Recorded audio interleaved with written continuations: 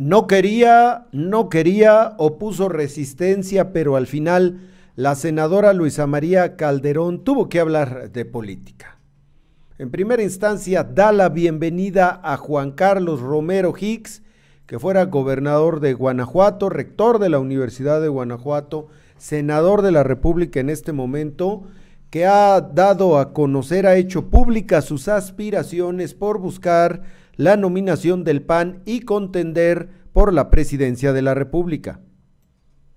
Yo creo que es bienvenida su aspiración. Juan Carlos Romero ha sido un senador trabajador. Eh, mientras los procesos sean limpios y no haya eh, dados cargados, yo creo que bienvenido todo el mundo, ¿no? Ahora, respecto al trabajo, por decirlo de alguna manera, y, y desde la perspectiva de Luisa María Calderón, que viene realizando el Comité Ejecutivo Nacional, el estatal y hasta el Comité Municipal de su partido en Morelia respecto a la afiliación, revisión o hay un esquema medio raro que traen este, los panistas para ver quiénes pueden ser considerados como militantes porque para ser militante oficial del PAN se tiene que cumplir con ciertos requisitos, aplicar un examen, etcétera, no es nada más llego, me apunto ya. Bueno, dice que están haciendo un cochupero, que es un cochinero, eso que se está llevando a cabo, que mejor escúchela a ella.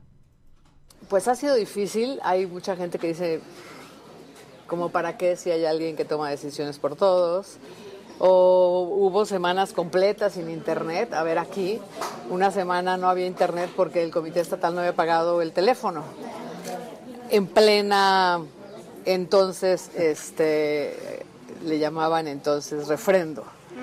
Y nosotros íbamos a tratar de pagar el teléfono del comité municipal y no podíamos. Te dices, a ver, una semana sin internet. Pero al final se trata como de actualizar los datos, ahora se llama actualizar los datos, y fue el gran invento de Rufo, quien estuvo entretenido como año y medio validando si era con la huella digital. Em, en fin, es un intento que no creo que pueda llamarse refrendo se llamará actualización de datos de quienes pueden acceder. En los comités municipales de las cabeceras distritales está permanente la maquinita, pero a veces se cae el sistema. Eh, en fin, yo creo que tiene muchas deficiencias sin ponerle calificación. Eh, será porque es la primera vez, será porque al fin es un primer ensayo que no salió bien. Eh, a ver si se hace una evaluación de de qué pasó y se mejora. Lo que sí sé es que ampliaron el tiempo, porque sí, con un 34% de, de mm, refrendados se podría correr el riesgo de perder el padrón. Entonces no se llama refrendo, se llama actualización de datos. Esto es, nadie va a perder sus derechos de panista si no va a, hacer ese ejercicio.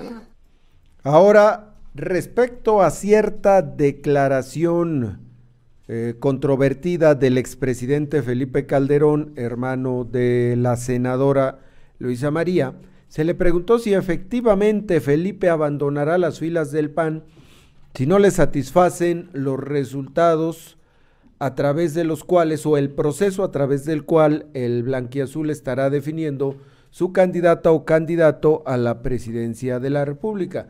Los Calderón se van del PAN Dice que no, que Felipe ni nadie de su familia deja acción nacional y pide cuidar la institución, cuidar al partido.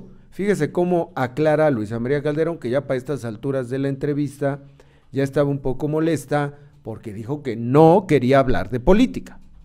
Yo creo que hay que revisar las tendencias. Mi hermano no lo dijo. Yo creo que hay que revisar el contexto de la discusión. Eh, que no voy a hablar más del tema porque creo que fue una estrategia armada. No dijo que se va. Ya dije que nosotros estamos en el PAN hace mucho tiempo y que hay que cuidar la institución. Al final las personas pasan. Hay que cuidar la institución que es para los ciudadanos. Y yo también creo que el proceso todavía no está dado. Las elecciones del año pasado no hubo un solo proceso electoral interno, las de este año tampoco lo hubo. El partido decidió quién podía ganar las elecciones afuera y así lo está haciendo, ¿no? Entonces, todavía falta pues se llama designación y se llama que está puesto en el, en el estatuto como válido, como legal. Este, y y en los hechos tenemos un padrón que no es un padrón confiable, que es un padrón con dados cargados y que se hizo un esfuerzo que no funcionó y que ahora falta que abran en todo caso el padrón para que la gente que quiso entrar y no pudo pueda entrar o la gente que en, una condición nueva quiere entrar pueda entrar, ¿no? Porque está cerrado el padrón, no hay posibilidad de afiliarse.